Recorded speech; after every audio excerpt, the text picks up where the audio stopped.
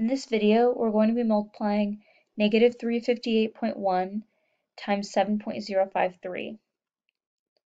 358.1 has 1, 2, 3, 4 numbers in it, and 7.053 has 1, 2, 3, 4 numbers in it, so it doesn't really matter which number I put uh, at the top. I'm going to go ahead and put 358.1 at the top, and then I'm multiplying that by 7.053 and you'll notice it doesn't matter if I line up the decimals when I'm multiplying or dividing. It only matters that you line up the decimals when you're adding and subtracting. I'm going to go ahead and switch colors because I have to start by multiplying each of these numbers at the top by 3. 1 times 3 is 3, 8 times 3 is 24, I carry the 2. 5 times 3 is 15, plus 2 is 17. 3 times 3 is 9, plus 1 is 10.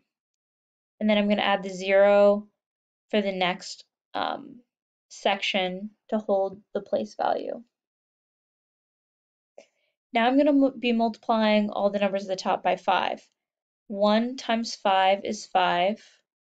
8 times 5 is 40. I put a 0 here, carry the 4. 5 times 5 is 25, plus 4 is 29.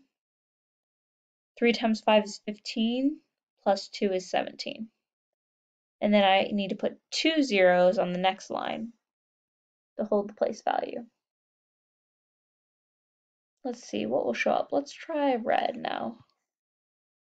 Okay, now I'm going to be multiplying all these numbers at the top by 0. So 1 times 0 is 0, 8 times 0 is 0, 5 times 0 is 0, and 3 times 0 is 0.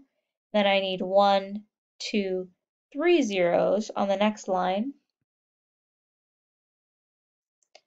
And then I'm going to be multiplying all the numbers at the top times 7.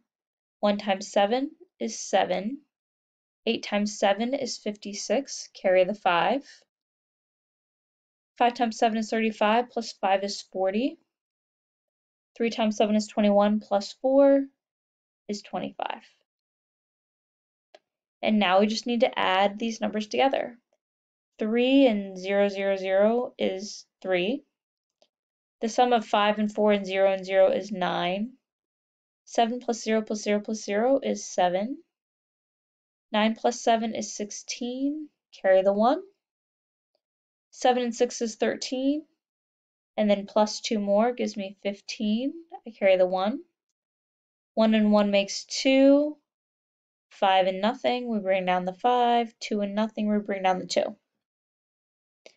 And then next, Let's see, I think this will probably show up the best.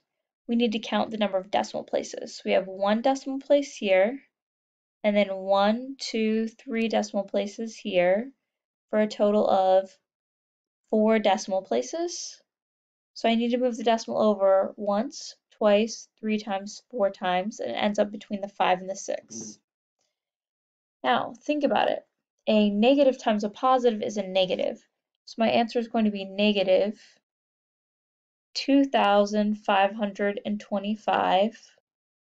And then the decimal portion is going to be this 6793.